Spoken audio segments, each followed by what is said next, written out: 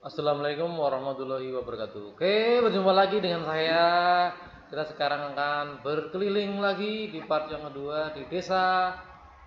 Namanya ini Kalimati. Oke, kita ini melihat dari sebelah barat. Kita akan menuju nanti muter-muter.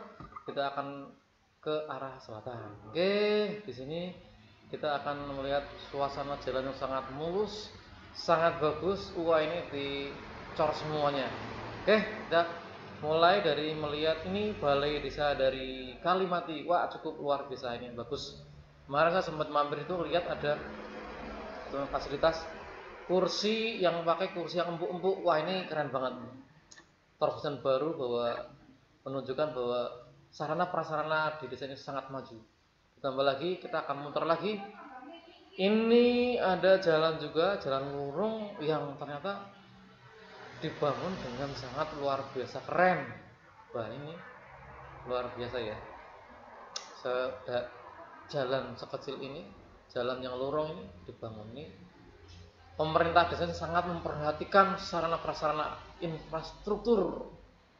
Ini referensi atau masukan buat eh, daerah-daerah yang lain.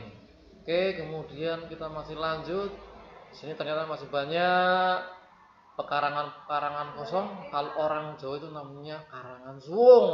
Oke, di sini ini kita melihat suasananya banyak banyak tanaman pisang kemudian tadi lihat ada anak sedang bermain sepeda-sepedaan ini masih banyak karangan yang bisa dimanfaatkan untuk bisa lebih produktif lagi ditanami oleh mungkin itu apa namanya subuk yang menurut katanya itu subuk itu bisa sebagai bahan dasar perekat lem pesawat terbang itu saya dapat informasi seperti itu tapi harus tahu distributornya sih cuma saya saya nggak tahu artinya orang gampang ada yang tahu itu bisnis yang sangat menyenangkan. Oke, kita melihat juga ini dari sebelah selatan masjid.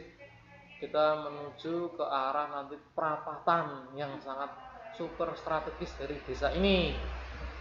Oke, lanjut nih dari ini adalah perapatan Kalimantan ke kalau ke sebelah timur nanti sampai ke Binangun sampai ke Panggil dalam. Oke, lah ini adalah Masjid Jamik dari Kalimati yang sedang dibangun.